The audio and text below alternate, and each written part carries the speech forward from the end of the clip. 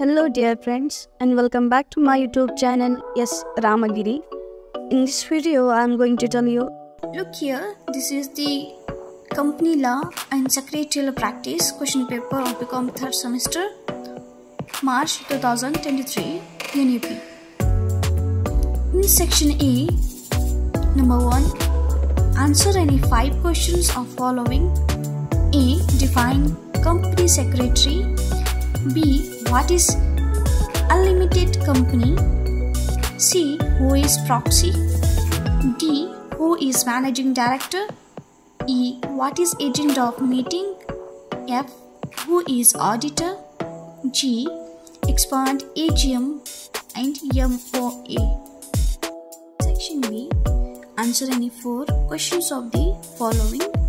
Question number two. Explain the statutory of secretary.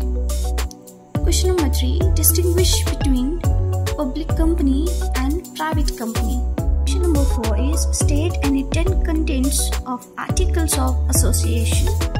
Question number five. Distinguish between director and managing director. And last one, sixth is explain the various methods of ascertaining the sense of meeting.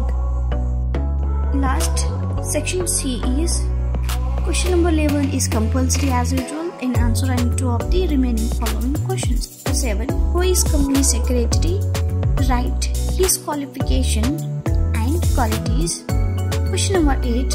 Briefly explain different types of companies. Question number 9. What is memorandum of association? Briefly explain its contents. Question number 10. What is annual general meeting? And explain the duties of secretary relating to annual general meeting. In last one is case study problem. They are giving two questions.